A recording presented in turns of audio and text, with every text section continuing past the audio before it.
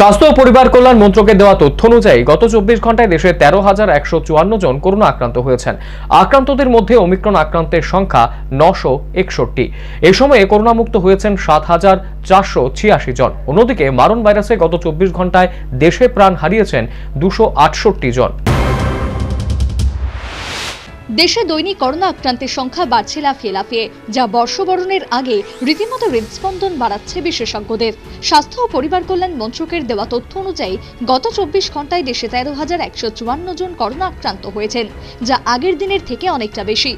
আক্রান্তদের মধ্যে অমিক্রণ আক্রান্তের সংখ্যা নশো একষট্টি জন। মারণ ভাইরাসে গত চব্বিশ ঘন্টায় দেশে প্রাণ হারিয়েছেন দুশো আটষট্টি জন।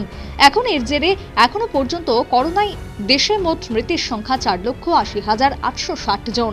আরও উদ্বেগের বিষয়, হঠাৎ করে করোনায় অ্যাক্টিভ কেস বেড়ে গেছে পাঁচ হাজার চারশো জন।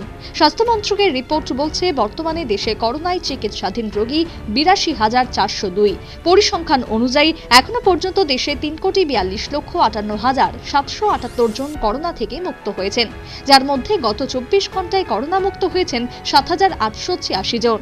এদিকে বিশ্ব স্বাস্থ্য সংস্থার ডিরেক্টর জেনারেল টেড্রাস আধনাম ঘেব্রিয়াসাস বিশ্ববাসীকে সতর্ক করে দিয়ে বলেছেন, আমরা অত্যন্ত উদ্বিগ্ন যে ওমিক্রন আরও বেশি সংক্রামক হয়ে উঠছে।